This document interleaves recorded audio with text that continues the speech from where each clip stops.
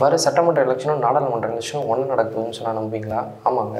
நம்ம election commission of India கிட்டேருந்து ஒரு அறிவிக்கை வந்திருக்கு. என்னென்னா ஒன் நேஷன் ஒன் எலெக்ஷன் வந்து நம்ம வந்து இம்ப்ளிமெண்ட் பண்ணலாம் அப்படின்ற மாதிரி அவங்க ஒரு சஜஷன் கேட்டிருக்காங்க. என்னடா ஒன் நேஷன் ஒன் எலெக்ஷன் சொல்கிறதுன்னு பார்க்குறீங்க ஆமாங்க. நம்ம சட்டமன்றம் மற்றும் நாடாளுமன்ற எலெக்ஷன் இருக்குல்ல ரெண்டுமே ஒரே பீரியட் ஆஃப் டைமில் வைக்கலாம் அப்படின்ட்டு நம்ம எலெக்ஷன் கமிஷன் ஆஃப் இந்தியா ஒரு வந்து ஒரு கருத்தை முன் வச்சுருக்காங்க. இதுக்கு நிறைய கட்சிகள் அப்போஸ் பண்ணுறாங்க நிறைய கட்சிகள் வந்து அக்செப்ட் பண்ணிக்கிறாங்க. எதனால் இந்த ஒன் நேஷன் ஒன் எலெக்ஷன் கொண்டு வந்திருக்காங்க? இதை யார் யாரெல்லாம் அப்போஸ் பண்ணுறா யார் யாரெல்லாம் இதை வேணான்னு சொல்கிறான்னு இன் டீட்டெயிலாக நம்ம இந்த வீடியோக்குள்ளே பார்க்கலாம். வாங்க நம்ம இப்போ கடவுள போகலாம்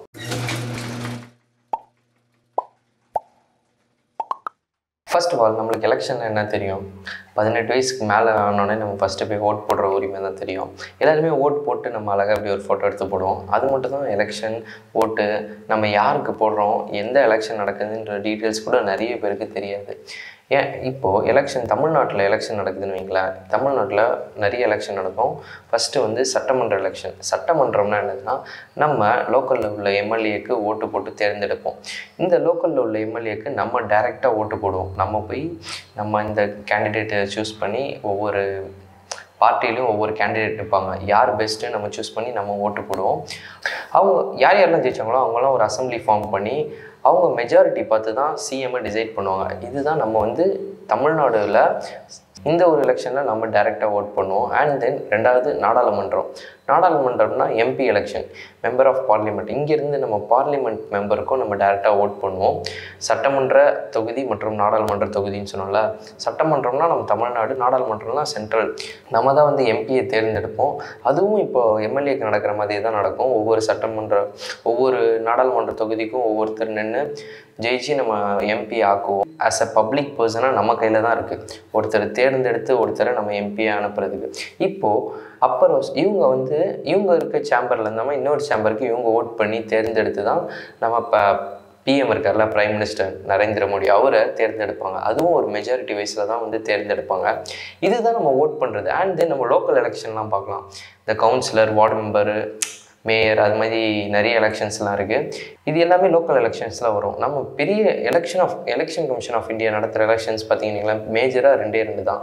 நாடாளுமன்றம் மற்றும் சட்டமன்ற எலெக்ஷன் தான் நம்ம எலெக்ஷன் கமிஷன் ஆஃப் இந்தியா நடத்துவாங்க. இப்போது நம்ம எம்பிக்கு தனியாக ஓட்டு போடுவோம் எம்எல்ஏக்கு தனியாக போடுவோம். ரெண்டுமே ஒரே டைமில் நம்மளுக்கு நடக்காது. அது ஒரு பீரியட் ஆஃப் டைமில் நடக்கும் இது ஒரு பீரியட் ஆஃப் டைமில் நடக்கும்.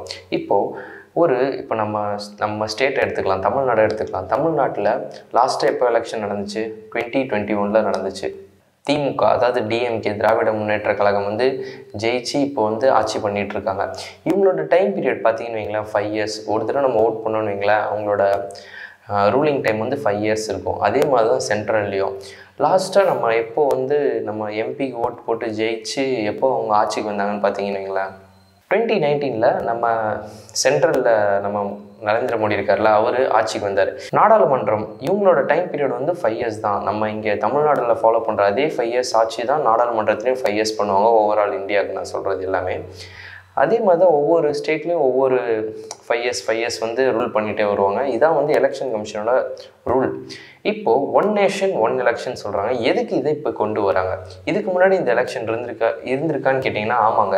ஃபஸ்ட்டு ஃபஸ்ட்டு நம்ம வந்து எலெக்ஷன் வைக்கும்போதே வந்து ஒன் நேஷன் ஒன் எலெக்ஷன் தான் கொண்டே வந்தாங்க. இது எந்த இயரில் வந்துச்சுன்னு வைங்களேன். நைன்டீன் ஃபிஃப்டி டூவில் தான் இது ஃபஸ்ட்டு வந்து இம்ப்ளிமெண்ட் பண்ணாங்க. எப்படின்னா ஓவரால் இந்தியாவுக்கும் எலெக்ஷன் அண்ட் தென் ஓவரால் ஸ்டேட்ஸ்க்கும் எலெக்ஷன் எல்லாருக்குமே எலெக்ஷன் வச்சாங்க. எப்படின்னா எம்பிக்கும் வச்சாங்க எம்எல்ஏக்கும் வச்சாங்க. இது வந்து ஒரே ஒரே இயரில் ஒரே பீரியட் ஆஃப் டைமில் நடந்துடும் எப்படின்னா ஒரு பஞ்சாக முடிச்சிருவாங்க. எம்பிக்கு எம்எல்ஏக்கு அவ்வளோதான் இந்த ஒரு டைமில் எலெக்ஷன் நடத்துனாங்கன்னு வைங்களேன் ஓவரால் நம்ம இந்தியாவில் இருக்க எல்லா ஸ்டேட்டுக்குமே ஒரே டைமில் வச்சு முடிச்சிட்டாங்கன்னா ஒரே ஒர்க்காக முடிஞ்சிடும் அண்ட் தென் ஒரே காஸ்ட்டாக முடிஞ்சிடும் இப்போ என்னென்னா காஸ்ட் தான் ரொம்ப பெரிய ஒரு காஸ்ட் பேரியர் தான் ரொம்ப அதிகமாகவே போகுதுன்றாங்க நைன்டீன் ஃபிஃப்டி டூவில் வந்து இது ஃபஸ்ட்டு இம்ப்ளிமெண்ட் பண்ணாங்க. இது இம்ப்ளிமெண்ட் பண்ணி ஒரு ஒரு டூ டைம்ஸ் இது கரெக்டாக போயிருக்கு. டூ டைம்ஸ்னால் இப்போ நைன்டீன் ஃபிஃப்டி நைனில் பண்ணியிருக்காங்க. இதே நைன்டீன் சிக்ஸ்டி செவன் வரைக்கும் இதை வந்து நல்லா இம்ப்ளிமெண்ட் பண்ணி எல்லா ஸ்டேட்டுமே ஒத்துழைச்சிட்டு போனாங்க. அதுக்கப்புறம் நிறைய ஸ்டேட்டில் பை எலெக்ஷன் வந்துச்சு. எப்படின்னா ஒன்று அந்த இப்போது ஆட்சியில் இருக்கவங்க இறந்து போனாலும் சரி அவங்க அவங்க வேற ஒரு காரணத்தினால பதவி விலகிட்டாலும் வந்து அந்த இடத்துல ரீ எலெக்ஷன் நடத்தணும். அது மாதிரி நிறைய ஸ்டேட்டில் ஆனவுடனே என்னாச்சுன்னா அவங்களோட ரூலிங் பீரியடு தனியாயிரும். இப்போ டோ ஓவராலாக ஃபைவ் இயர்ஸ்னும் போது காமனாக எலெக்ஷன் வச்சாங்கன்னு வைங்களேன். காமனாக ஃபைவ் இயர்ஸ் ஃபைவ் இயர்ஸ் கரெக்டாக அது அப்படியே மே மேட்ச் ஆகிட்டே வரும். இப்போ ஒரு சில ஸ்டேட்டுக்கு மிஸ் மேட்ச் ஆகும். எப்படின்னா அவங்க இறந்துட்டாங்கன்னா அவங்க ரூலிங் டைம் அதிகமாயிரும். அது மாதிரி நிறைய மிஸ் மேட்ச் ஆனோடனே இந்த ஒரு இந்த ஒரு முறையை வந்து வேணாம். அப்படின்ட்டு அப்போமே வந்து ஸ்டாப் பண்ணிட்டாங்க. நைன்டீன் சிக்ஸ்டி செவனில் இதை ஸ்டாப் பண்ணிட்டாங்க. நைன்டீன் சிக்ஸ்டி செவனில் ஒரு ஆக்டின் படி வந்து இது வேணாம். தனித்தனி ஸ்டேட் ஸ்டேட்டாக நம்ம எலெக்ஷன் எடுத்துக்கலாம் அப்படின்ற மாதிரி அப்போமே கொண்டு வந்து நம்ம ஒன் நேஷன் ஒன் எலெக்ஷன் வேண்டாம் அப்படின்ற மாதிரி தனித்தனி ஸ்டேட் வைஸாக எல்லாருக்கும் எலெக்ஷன் நடக்கும். அண்ட் தென் பார்லிமெண்ட்ரி எலெக்ஷன் தனியாக நடக்கும் அப்படின்ற மாதிரி கொண்டு வந்து அது அப்படியே ரெகுலராக அதை அப்படியே கொண்டு வந்துட்டே தான் இருக்காங்க. இப்போ திருப்பி இது ஏன் கொண்டு வராங்கன்னு வைங்களேன். ஆல்ரெடி டூ தௌசண்ட் சிக்ஸ்டீன்லேயும் வந்து இதை இம்ப்ளிமெண்ட் பண்ணலான்னு பார்த்தாங்க. நம்ம எலெக்ஷன் கமிஷன் கிட்ட இருந்து நம்ம பார்லிமெண்ட்ரியில் ஒரு ஸ்டாண்டிங் இது கொண்டு வந்தாங்க. எப்படின்னா இதை கொண்டு வரலாம். ஏன்னா ஆல்ரெடி வந்து நம்ம வந்து இதுக்கு முன்னாடி இதை ஃபாலோ பண்ணியிருக்கோம். இது புதுசாக நம்ம பண்ணலை. திரும்ப நம்ம இதை இம்ப்ளிமெண்ட் பண்ணுவோம் அப்படின்ற மாதிரி அவங்க தரப்புலேருந்து அவங்க என்னென்ன ஸ்டெப்ஸ்லாம் எடுத்து சொல்கிறாங்க அப்படின்னு சொல்லியிருக்காங்க. இதுக்கு ஒரு fifty percentage of overall state and central எல்லாருமே சேர்த்து ஒரு fifty to sixty percentage of வந்து சப்போர்ட் பண்ணாங்கன்னா இதை இம்ப்ளிமெண்ட் பண்ணலாம் அப்படின்ற மாதிரி அவங்க முன் வச்சாங்க. அப்போ வந்து யாருமே இதை பற்றி பெருசாக பேசலை ஆதரிக்கலாம் இல்லை. After that two thousand eighteen nineteen இந்த டைம்லேயும் வந்து அவங்க திரும்ப சொன்னாங்க. ஏன்னா டூ தௌசண்ட் நைன்டீனில் தான் நம்ம வந்து எம்பி எலெக்ஷன் நடந்துச்சு. அதாவது நம்ம பிரைம் மினிஸ்டர் இருக்கார்ல நரேந்திர மோடி அவர் அவர் வந்து ஆட்சிக்கு வர டைம்லையும் இதை திருப்பி சொன்னாங்க. எப்படின்னா ஒன் நேஷன் ஒன் எலெக்ஷன் மாதிரி வச்சிடலாம் அப்படின்ட்டு. அப்பவும் வந்து யாருமே ஆதரிக்கலை. அப்போ இன்ஃபேக்ட் ஏடிஎம்கே கூட ஆதரி ஆதரிக்கலை. வேணாம். இது வந்து ஒரு நல்ல இது கிடையாது. நம்ம இப்போது ஃபாலோ பண்ணிகிட்ருக்கோம் பார்த்தீங்களா அதே ஃபாலோ பண்ணலாம். ஒன் நேஷன் ஒன் எலெக்ஷன்லாம் வேணாம். இதனால் இதனால் நிறைய ப்ராப்ளம் இருக்குன்னு ஒவ்வொரு பார்ட்டி ஒவ்வொரு பார்ட்டிஸும் அண்ட் தென் ஒவ்வொரு பாலிட்டி பொலிட்டிக்கல் தலைவர்களும் அவங்களோட கருத்தை முன் வச்சுட்டாங்க எல்லாருமே. இது வேணாம் இது செட் ஆகாது. நம்ம கவர்மெண்ட்டுக்கு அப்படின்ற மாதிரி நிறைய பேர் நிறைய விஷயத்த அப்போ சொல்லி க்ளோஸ் பண்ணிட்டாங்க. திரும்ப இப்போ இப்போ கொண்டு வரதுக்கு காரணம் என்னன்னு தான் எனக்கும் புரியல. ஏன்னா டூ தௌசண்ட் நைன்டீனில் கொண்டு வரும்போதும் அப்போ எம்பி எலெக்ஷன் நடந்துச்சு.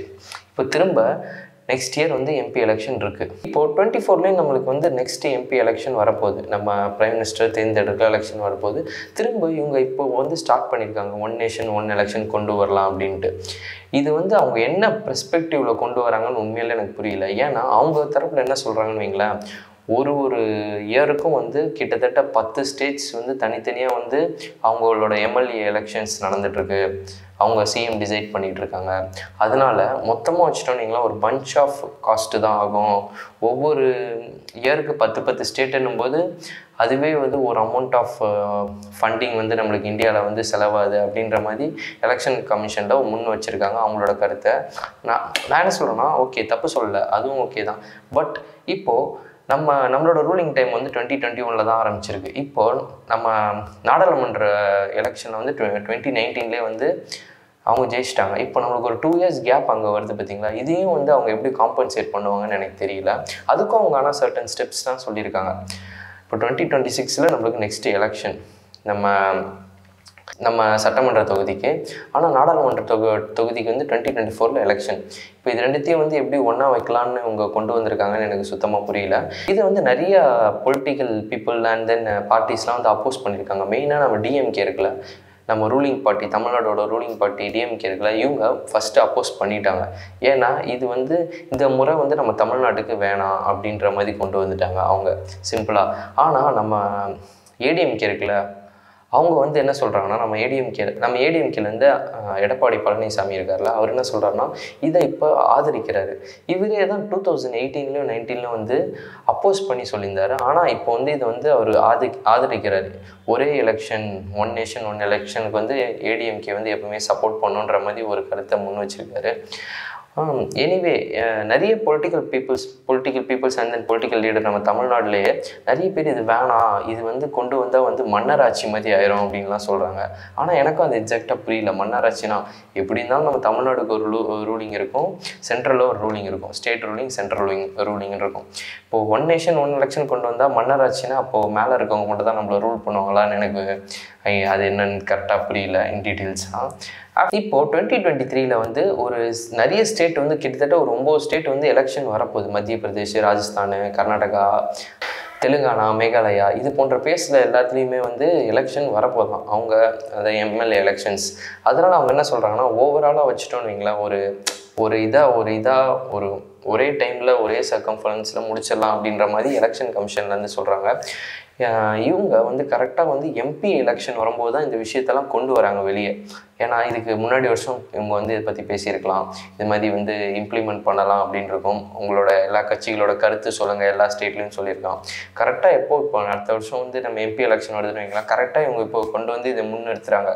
இதுக்கு நிறைய பேர் ஆதரிக்கிறாங்க எ- எதிர்க்கிறாங்க. இதில் வந்து நம்ம எதுவும் பெருசாக கருத்து சொல்ல முடியாது. ஏன்னா இன் டீட்டெயில்ஸாக இன் டீ இன் டீட்டெயிலாக வந்து அரசியலில் ரொம்பவே இருக்கவங்களுக்கு தான் இதோட காரணம் என்ன நாம்ஸ் என்ன இதோட அட்வான்டேஜ் டிஸ்அட்வான்டேஜ் தான் தெரியும். நம்மளுக்கு என்னென்னா ரொம்ப நாளே பேசப்படாத விஷயம் திருப்பி கரெக்டாக அந்த எலெக்ஷன் அப்போ எம்பி எலெக்ஷன் அப்போ மட்டும் பேசுகிற மாதிரியே இருக்குது என்னோட எனக்கு பொறுத்த வரைக்கும் அது அப்படி இருக்குது இது கொண்டு வந்தால் ஃபார் இது வந்து இது கொண்டு வந்தால் பெட்டராக இருக்குமான்னு நீங்கள் தான் சொல்லணும்.